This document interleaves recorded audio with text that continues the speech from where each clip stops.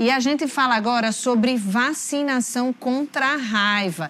Já tinha começado aí o trabalho do Centro de Controle de Zoonoses vacinando os animais da zona rural. Agora, a campanha chega aqui à zona urbana de Mossoró e, como aconteceu já em outros momentos, a Prefeitura disponibiliza pontos de vacinação pela cidade. Nós vamos chamar agora Tiffany Alves, que vai trazer para a gente informações dos locais que funcionam hoje e amanhã aqui em Mossoró. Bom dia, Tiffany.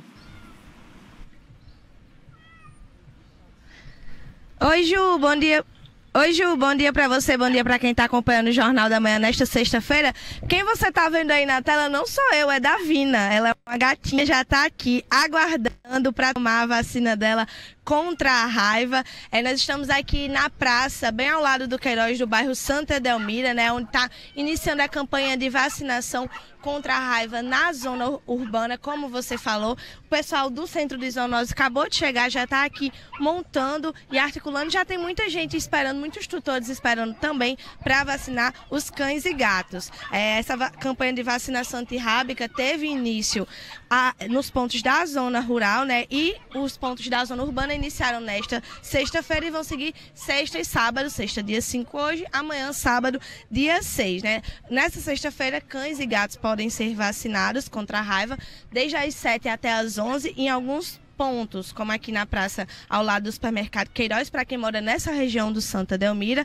Também é, lá na UBS e o Doni Cavalcante de Freitas, na, no bairro Barrocas, e na UBS Vereador Lade Rosado, no Alto do Sumaré, nesse horário de 7 às 11. No sábado, se você não consegue levar o seu pet hoje, é, você leva amanhã no sábado é, nos locais né, das 8 às 12, na Praça do Livro, lá no Santo Antônio, no Parque Municipal, no centro, na praça ao lado da UPA do Alto São Manuel e também na Praça Raimundo Rubira, lá no Boa Vista. Esses são os locais da sexta e do sábado, mas a vacinação vai seguir nesse momento. Ó, mais um, um animalzinho tomando a vacina também. Lembrando que a orientação é a vacina contra a raiva para cães e gatos a partir dos três meses de idade. Se o seu cãozinho, o seu gato já foi vacinado no ano, no ano passado, não tem problema. Essa é uma campanha anual né, para proteger contra a raiva.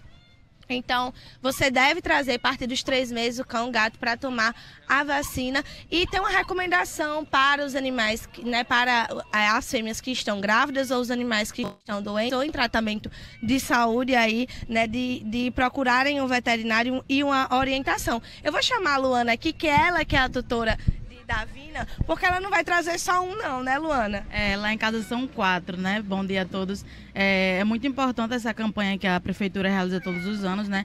Pois ela está evitando a propagação da raiva e isso é tanto para os animais, tanto também com, com, importante para a saúde pública, né?